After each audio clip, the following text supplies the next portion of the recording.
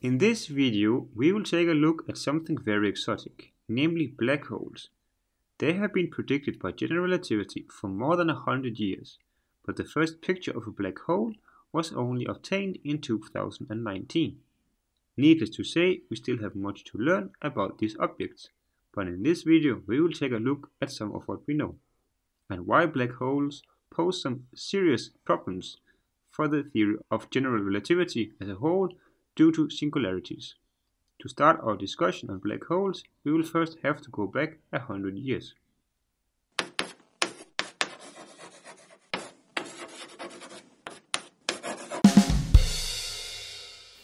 In cosmology, we are often interested in the Friedmann solutions to the Einstein field equations, but there are many other solutions, and Friedmann was not the first one to come up with a solution. That achievement goes to Karl Schwarzschild, came up with the first exact solution in 1916, just one year after Einstein published his theory. What makes this even more impressive is the fact that Schwarzschild did this while he was deployed on the Eastern Front during the First World War. Sadly, his story is at least as tragic as Friedmann's. Schwarzschild died in the spring of 1916. Einstein himself was impressed by the simplicity of Schwarzschild's solution what he did was assuming spherical symmetry, zero electrical charge, and zero angular momentum of the mass, and then he put the cosmological constant to zero. You might think that so many assumptions would make the result useless. While this solution cannot be applied to the universe as a whole at large scales, it is quite useful for describing local phenomena like light bending and black holes. Recall that the fundamental object in general relativity is the metric. In the solution of Schwarzschild, the metric takes the form ds squared is equal to minus in bracket 1 minus rs divided by r times dt squared plus 1 over 1 minus rs divided by r dr squared plus r squared d omega squared and d omega is a function of theta and phi and we have that the metric is expressed in terms of the line element which is called ds squared. Writing the metric in terms of the line element is equivalent to writing it as a matrix. Since we are in general relativity, we are dealing with space-time, or in other words, four dimensions. Schwarzschild used spherical coordinates, so his spatial components are the radius r, the angle theta, and the angle phi. But due to spherical symmetry, the angular terms are rather trivial, so we just hide them in the term omega squared. The time coordinate t is of course also there, and that is so we have space and time together, or spacetime.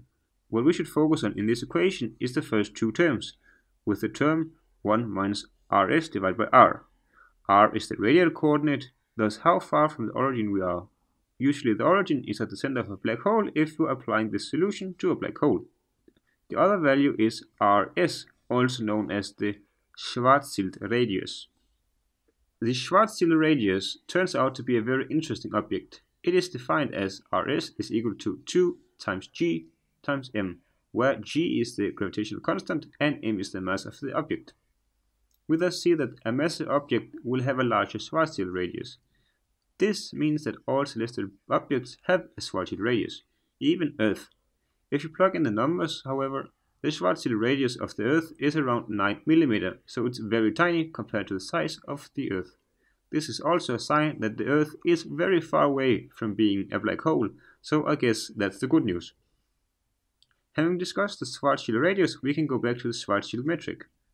If we look very carefully, we will see that the metric has two singularities. This is problematic, because at singularities the theory does not work and singularities is generally a sign of a sick theory. The first singularity we find if we set r equal to 0, as you will get division by 0 in both the time and the radial term. This singularity is problematic because it cannot be removed.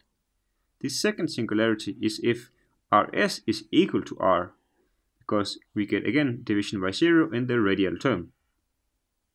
It turns out that this singularity is just a result of choosing bad coordinates, so we can actually get rid of this singularity, as we will discuss later. But it actually turns out that the condition rs equal to r has some physical meaning. If the Schwarzschild radius rs is bigger than the radius r, then the object is a black hole, and the Schwarzschild radius is the event horizon. Again, the Earth's Schwarzschild radius is much smaller than the radius of the Earth because the Earth is nowhere near becoming a black hole. The event horizon is the point of no return for black holes. It is defined as the Schwarzschild radius of the black hole. If you go beyond the event horizon of a black hole, there is no coming back. Not even light can escape the event horizon. This is also why we see black holes as black objects. Stars, for example, send out light, so we see them as bright objects. Black holes, on the other hand, sucks in everything, including light, because the light bending is so extreme that even light cannot escape. Black holes therefore send out nothing and appear black. The photo of a black hole confirms this behavior, and we see a lot of fast-moving objects getting sucked into the black hole. As promised, we can rewrite the Schwarzschild metric to get rid of the coordinate singularity at rs equal to r, which allows us to explore the inside of a black hole. Sparing the math, the result of some rewriting will be the metric using Kruskal-Szekeres coordinates, where ds squared is equal to 8rs cubed divided by r minus dt squared plus dr squared plus r squared times d omega squared. The important thing we now see is that indeed rs equal to r does not yield a singularity, but r equal to 0 still does. This is related to the issue of singularities for black holes in general relativity. A singularity would in principle ruin general relativity, as all points must be well defined. What saves the theory is that black holes have an event horizon, and that this effectively shields the theory from the issues of singularities. This leads us to the question, what if a singularity does not have an event horizon? This is called a naked singularity.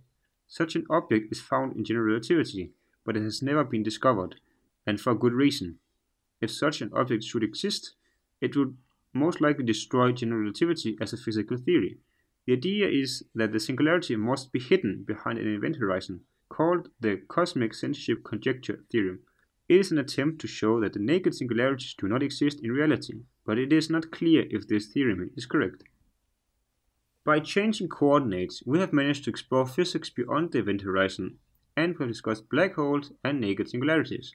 Actually, the theory of general relativity also contains something called white holes, which is the opposite of a black hole, in a black hole, you can only fall into it, but in a white hole, you can only fall out of it. White holes are currently not thought to really exist, but it is most likely an example of another odd object present in general relativity. General relativity is great for many things, but it also has some seemingly non-physical predictions, and this issue with singularities. Because of these issues, general relativity is not completely correct, or in other words, there must be some better theory without these issues.